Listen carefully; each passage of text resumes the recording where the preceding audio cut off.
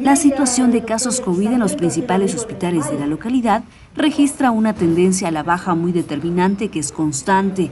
Es así que en el Hospital Isidro Ayora, por ejemplo, en semanas anteriores, la positividad de las pruebas realizadas fue de un 45%. Sin embargo, en la última semana disminuyó a un 37%. La semana pasada tuvimos el ingreso de un paciente a hospitalización con COVID, sin embargo el día de mañana se va a dar el alta porque se encuentra en buenas condiciones este paciente.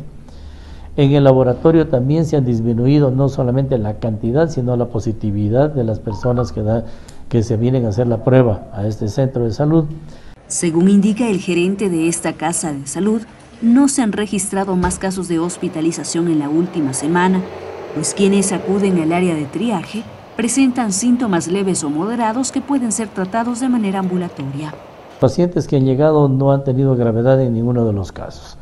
Tanto es que la hospitalización está determinada como un elemento netamente preventivo ante, que, ante situaciones que podrían presentarse, complicarse el cuadro clínico, al requerido del uso de oxígeno, de algunos antibióticos y corticoides que se le está brindando dentro del hospital.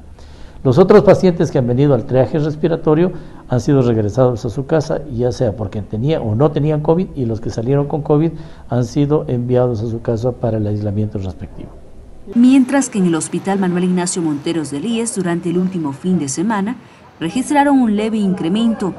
36 muestras fueron procesadas, de las cuales 22 dieron como resultado positivo, lo que representa un 61.1% de positividad y con corte al domingo 26 de junio, ocho personas estaban hospitalizadas, seis en sala COVID y dos corresponden a pediatría. No se registran fallecimientos por esta patología en lo que va del mes de junio. Para Mundo Visión, Carola Gila.